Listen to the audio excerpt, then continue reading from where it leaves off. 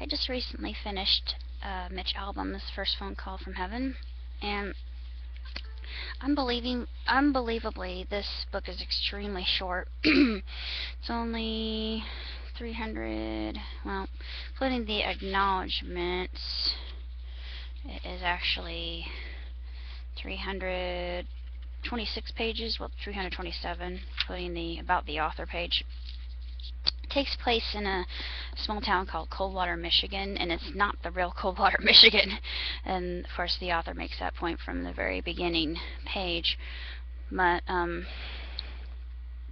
interestingly enough, and intriguingly enough, um, one character in the book starts receiving calls from her sister, who's been deceased for years.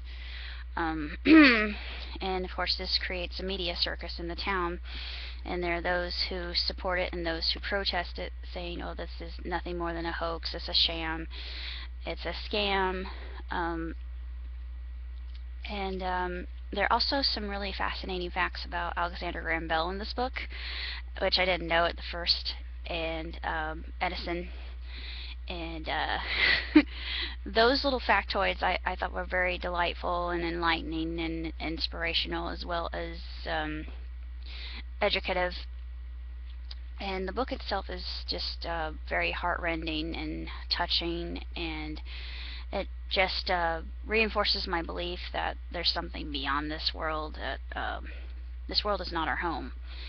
And um, even though, yeah, I can I can say with a full heart and greatest confidence that I know that I am expecting that. I'm looking forward to that, and I'm living the best I can while I'm here in, in existence on this plane.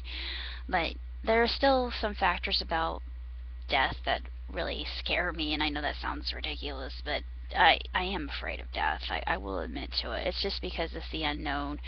Um, I've been close to it before, but um, never had an NDE or anything like that. I've read books about NDEs. Uh, there's a movie coming out called um, Heaven is for Real. Of course, it's based on the bestseller, and I'm really looking forward to it. It's coming out on Easter. Um, a lot of shows out there speak about the paranormal. I really enjoy them, like um, Supernatural. I've, I've just become a fan of Supernatural. It's really quite excellent. Uh, I like the characters and the paranormal and all that. I've I've always been um, intrigued and fascinated by the paranormal. Um, I'm still scared of what's, um, you know, dying. That whole the whole aspect of dying just doesn't really appeal to me. But um, I don't like to think about it too much. But I just uh, read a book like this, and then I have this calm reassurance that I am taking the right pathway and I'm doing everything I can to be a good person and make the world a better place in some small fashion, maybe a fraction. I, I mean, I'm just one person.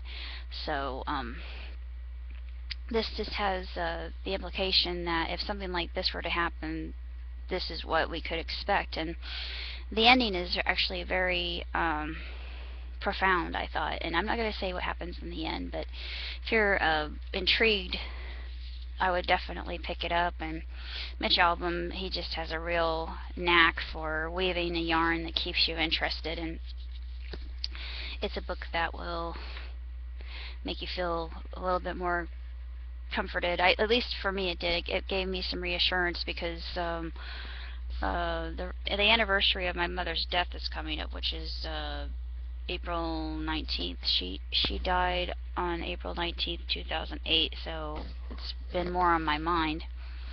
And um I know she's still with me. She she'll come around in dreams and songs. Every so often I'll hear a song and I think, "Yeah, yeah, it's you, mom."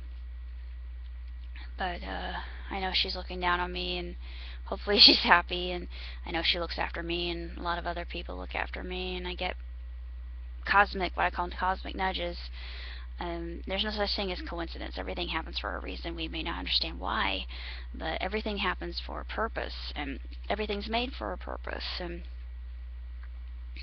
we might not really get the implications as to what that particular purpose is. Like for me, I'm still trying to figure out what my purpose is. I'm still kind of a feather in the wind, but hopefully I can figure that out. I think this will be my year, but this book is absolutely incredible and it's very inspirational and I highly recommend it to anybody who's a Mitch Albom fan.